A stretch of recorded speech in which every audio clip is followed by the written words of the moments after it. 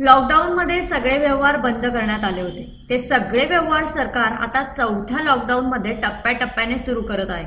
मात्र सलून व्यवसाय हा शिथिलतेमध्ये कोल्हापुरात दोन दिवस सुरू करण्यात आला होता. मात्र समूह संसर्गाचा विचार करून कोल्हापूर प्रशासनाने सलूनची दुकानं पुन्हा बंद केली.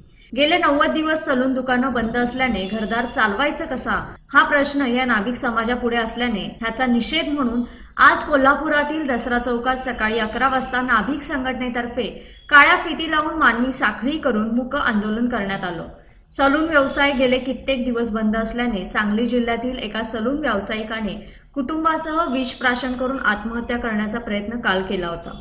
या सर्वच गोष्टींचा निषेध करण्याकरिता नाभिक समाज आज दसरा चौकात एकवटला होता. यावेळी विविध मागण्या करत आणि लवकरात लवकर सरकारने सलून चालू करण्यास परवानगी द्यावी.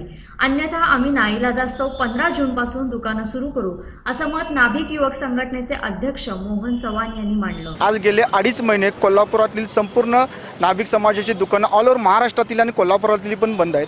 ती दुकानं चालू करण्यासंदर्भात शासनाच्या दारी ज्या त्या वेळेला आम्ही निवेदनद्वारे शासनाला विनंती केली तर आज तग्यात आम्हाला दुकान चालू करायला परमिशन मिळालेलं नाही. त्यासाठी आमच्या सलून व्यवसायावर होणारे अन्याय आणि सलून व्यवसायाच्या जी लोकं आमची उपासमारीची वेळ आल्या कालच नुकते आता सांगली जिल्ह्यामध्ये काल कवटेमंकामध्ये आमच्या सलून बांधवाने एका आत्महत्या करण्याचा फॅमिलीसहित प्रयत्न केला. असा प्रसंग आज उद्या नाही चालू झालं तर सगळ्या प्रसंग सगळ्यांच्या येण्यासारखी परिस्थिती आहे. आणि आज आमच्या लोकांची दुकान भाड्याच्या पद्धतीने आहेत त्या लोकांनी भाडे द्यायची कपॅसिटी आज राहिलेली नाही. दुकानाचं लाइट बिल असून दे पाणी बिल असून दे जे काय कंडिशन आज त्या लोकांच्या अतिशय आमच्या अडचणी आहेत. आणि आमचे सलून व्यवसाय लवकरात लवकर चालू करावी शासनाला विनंती आहे. आणि आमची उपासमारीची वेळ आलेली आहे. आणि जर शासनाने याचा निर्णय लवकरात लवकर नाही घेतला तर ना इलाज खातीर आम्हाला पंधरा तारखेनंतर सलून व्यवसाय दुकाने संपूर्ण चालू करण्याची पर चालू करण्याची वेळ येईल. ही शासनाला आमची विनंती आहे. लॉकडाऊनमध्ये इतर व्यवसायांसोबतच सलून आणि ब्युटी पार्लर व्यवसायही बंद होते. मात्र लॉकडाऊनमध्ये शिथिलता सरकारने दिल्यानंतरही हे व्यवसाय अजूनही बंदच आहे.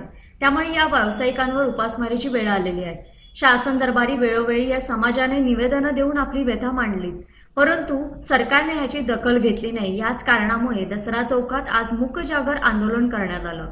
यावेळी कोल्हापूर जिल्ह्यातील आणि इतर तालुक्यातील सुमारे चारशेहून अधिक नाभिक सलून व्यावसायिक आणि ब्युटी पार्लर व्यावसायिक या आंदोलनात सहभागी होते.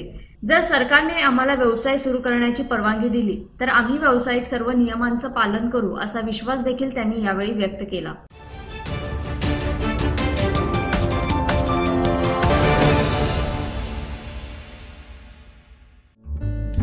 सबस्क्राईब करा तरुण भारत न्यूज चॅनलला आणि ताज्या घडामोडी सर्वात आधी जाणून घेण्यासाठी बेल आयकॉनवर क्लिक करा.